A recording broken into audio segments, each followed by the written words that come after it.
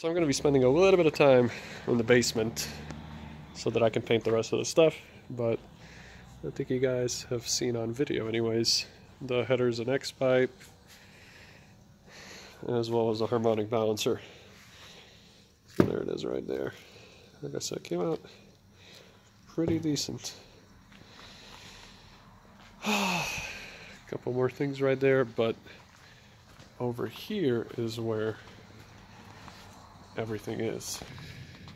So I dedicated one room just to, I mean, it's storage, but I have all my stuff that's been taken apart, put it down here.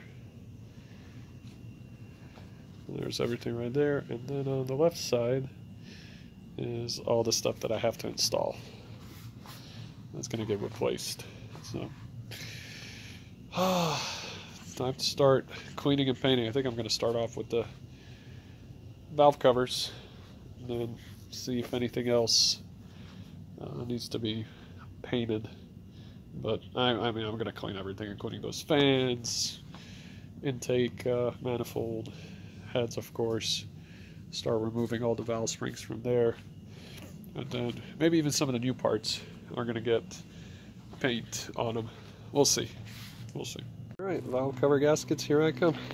Just gently pushed on the bolts and they popped right out. Soak that one with simple green, all-purpose cleaner. We'll start working on that one too at the same time. Okay, so everything has been cleaned thoroughly with not just the degreaser but also lacquer thinner and my favorite prep all. Alright, so now I'm gonna apply this. Well, actually, you know what? I don't even have to because this has that metallic finish. So I'm just gonna apply this red coat automatically to it. Okay, so the first coat has been applied. I don't know if this paint's actually gonna be able to cover everything fully or not. But uh, if it doesn't, I'm just gonna paint over it with the gold. So the second coat has been applied. It doesn't look all that bad. I don't know if I'm gonna do the gold or not now. It looks pretty looks pretty okay this way. I may just keep a red. I don't know though. Decisions. Alright, so as you can see, uh, any kind of imperfection that was on there is popping out, and I really don't feel like spending that much time sanding it. So, I'm just going to go ahead and paint over gold. It's what I wanted to do in the first place, but I just wanted to see how the red would turn out. And there's a first coat. Applied a little bit of a heavier uh, gold coat just because it already had two base red coats. And uh, it actually doesn't look that bad. I'm, uh, I'm almost toying with the notion of leaving it like this, even though I won't. With that red kind of popping out from underneath the gold. But I don't know. Let me let me think about it. I do like the base red, so turned out actually pretty okay. But most likely I'll do another coat of gold and call it a day. So I just finished painting them. There's still a very tiny bit of red that pops out on a couple of different angles. But I am 100% okay with it. It actually looks really good. So it's going to go with the overall theme of the entire engine.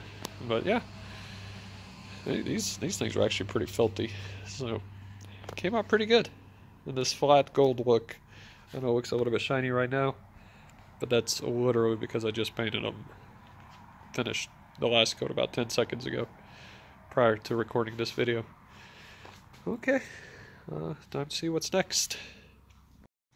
So what I think what I'm gonna do is, it's just a butterfly, it's okay. it's a nice butterfly. You scared me. The butterfly scared you? Yes. Oh, okay. So I'm just gonna continue cleaning these things What that I have off. to the bed?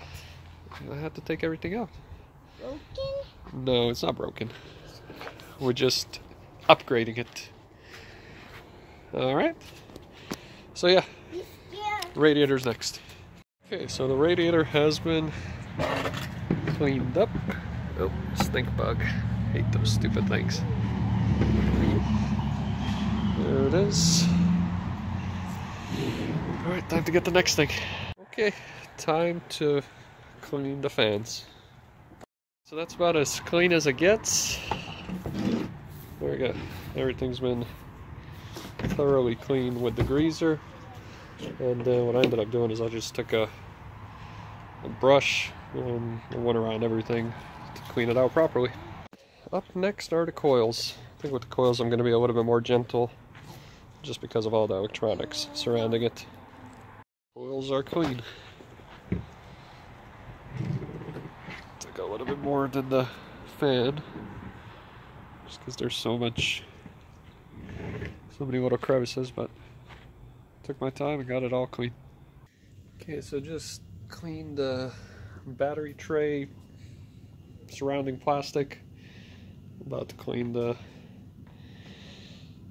the engine covers, and then there's a couple more parts over there that I'm gonna clean, and then I'm gonna take my time with the intake manifold. That needed to be cleaned has been cleaned. There were a few clips on that that uh, were showing some signs of rust, so I blasted it with that uh, rust to black primer stuff. But uh, I think I'm gonna wait till tomorrow to start working on the intake manifold. And there's just a couple more things here and there that really need to be cleaned uh, that are off of the engine. Most of these coolant hoses are getting replaced anyways with these high heat temperature ones. So I'm just not even gonna bother with that stuff. But you know, for example, like the alternator, I may. Uh, I don't know if I'll paint it or not. We'll see. But uh, one cool thing that I got in today, since I got long tube headers, are oxygen sensor extension wires. So I don't have to cut anything. And I know it's not recommended to cut it anyways, but I've seen people do it online. So initially that's what I was planning on doing, but this both of these were 17 bucks. I mean, who can really beat it?